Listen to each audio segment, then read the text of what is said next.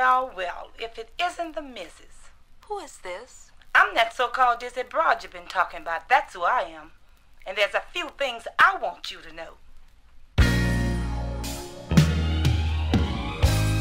You got the papers, but I know I got the man. Now you're wanting to buy you out and pay you off. But haven't you realized, girl, that everything is yours? Now I'm calling to tell you what I think you should do about your house, your car, and all those old cheap clothes too. Now as for your house, you can keep it because he don't need it. And you can take your car because it's too old anyway for us to ride in. And you see those cheap clothes you're talking about? You can take them too because he's dealing in class now, honey, not trash. Huh. So you got papers, but I know I got the name. Now you're running your head telling everybody in town you're sending to school.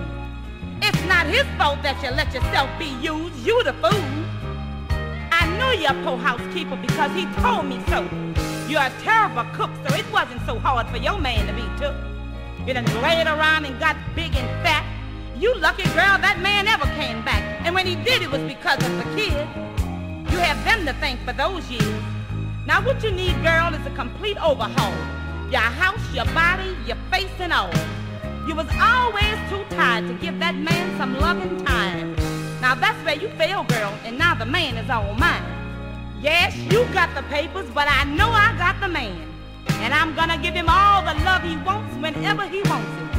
As long as he wants it, and however he wants it.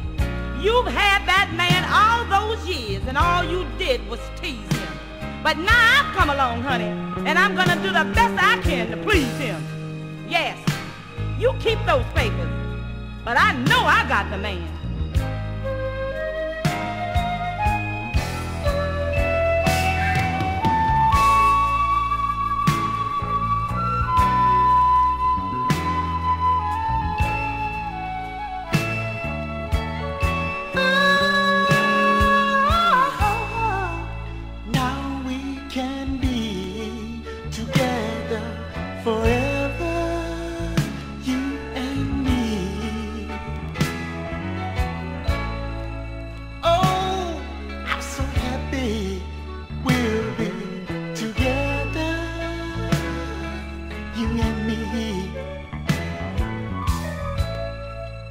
True love this time.